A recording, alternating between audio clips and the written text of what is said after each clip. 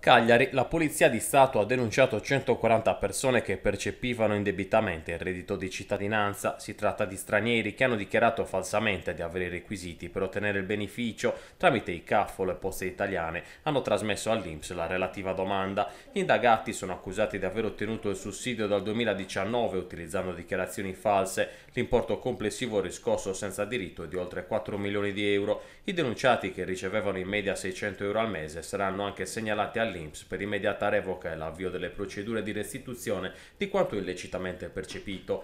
Tra le irregolarità più frequenti si evidenzia l'aver dichiarato di essere in possesso del permesso di soggiorno di lungo periodo o di avere la residenza in Italia da almeno 10 anni, di cui gli ultimi due continuativi. Le indagini dei poliziotti della squadra mobile hanno preso avvio tre mesi fa, quando l'ufficio immigrazione della questura, nel valutare circa 620 posizioni di stranieri che chiedevano la regolarizzazione nel nostro paese, ha scoperto che alcuni di loro percepivano il reddito di cittadinanza pur senza essere titolari di un titolo di soggiorno valido. Gli approfondimenti investigativi della Polizia di Stato, avviati con la collaborazione della direzione regionale dell'Inps, di alcuni CAF e delle poste italiane, sinora hanno consentito di denunciare alla Procura della Repubblica di Cagliari 140 stranieri provenienti da 22 stati extraeuropei, in prevalenza del Nord Africa e dell'Africa subsahariana. Sono al vaglio degli investigatori le posizioni di altri 478 stranieri che risultano percettori del reddito di cittadinanza dal 2019 che rischiano la denuncia e la revoca del beneficio.